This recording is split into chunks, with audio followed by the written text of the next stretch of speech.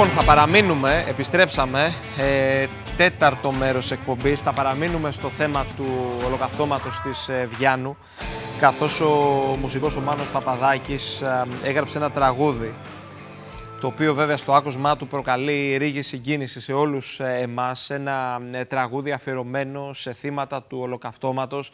Να σε καλησπερίσω Μάνο. Καλώς σας βρίσκω και εγώ. Και να σε ευχαριστήσω πολύ. Μπορούμε να πάρουμε μια γεύση, Δημήτρη, λίγο με το τραγούδι και να μπούμε στο κλίμα και να μιλήσουμε.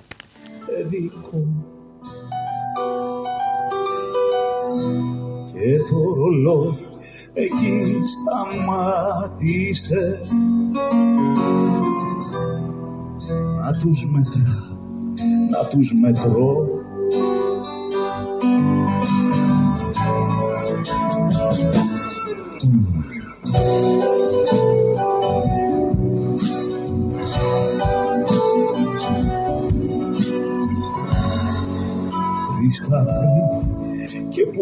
Χριστός τους γράφηκε, έφυγε και κρύφτηκε. Η λάμα σαν βαχθανή φωνάζει ακόμα πάνω εκεί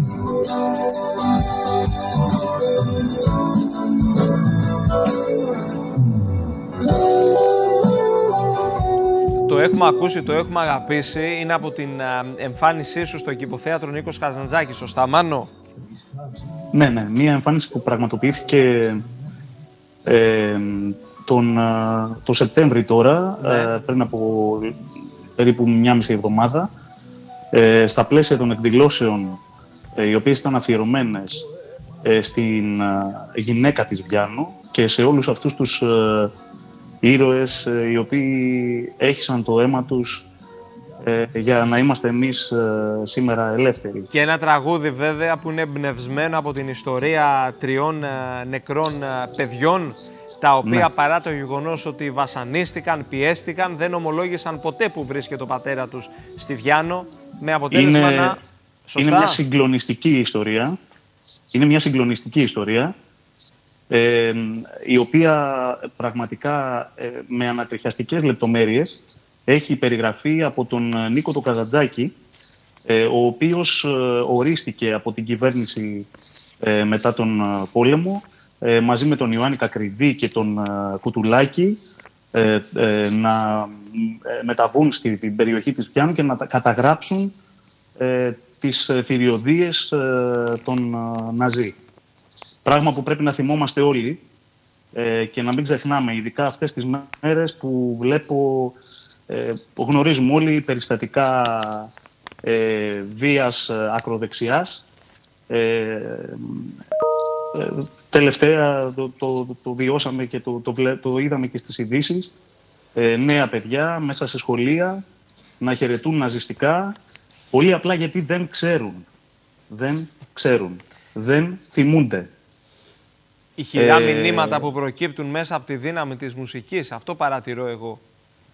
Κοιτάξτε να δείτε, η, η ιστορία των ε, τριών αυτών ε, ε, παιδιών, τα οποία οι ηλικίες τους ήταν ε, πε- το- της οικογένειας Βερβελάκη, Ναι. ε, τρι- τρία παιδιά τα οποία έχασαν ε, τη ζωή τους, δολοφονήθηκαν από τους ε, Ναζί, ε, είναι για μένα ε, οι πραγματικοί ήρωες οι οποίοι δεν υπέκυψαν στα, στις θηριωδίες των, ε, των Γερμανών ε, ο- για να ε, προδώσουν ε, τον πατέρα τους και έτσι κατέληξαν κιόλας στα χέρια τους αφού σφαγιάστηκαν στην κυριολεξία.